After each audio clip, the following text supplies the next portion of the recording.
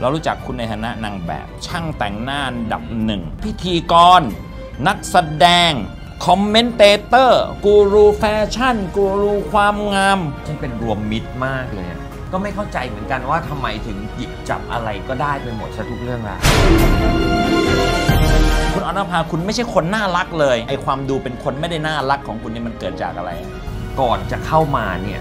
ชีวิตเนี่ยมันถูกการกลั่นแกล้งมาเยอะมาก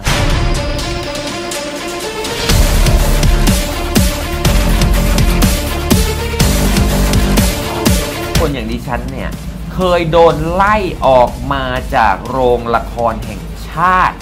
เพราะ เพราะใส่รองเท้าฟองน้ำเข้าไปดู คุณเริ่มต้นชีวิตมาท่ามกลางการดูถูกเหยียดหยามกดดันกลั่นแกล้ง คนที่ อ่อนแอก็คงอยู่ไม่ได้ ดังนั้นเมื่อคุณเป็นคนอ่อนแอ คุณก็คงจะไปจากที่นี่ซะแล้วมันง่ายดีตอนที่กูสู้มาเนี่ย กูไม่เห็นต้องมา inbox ถามใครเลย อ่า แล้วพวกมึงอะเป็นใคร อ่า อยู่ๆก็มา inbox ถามกูตลอด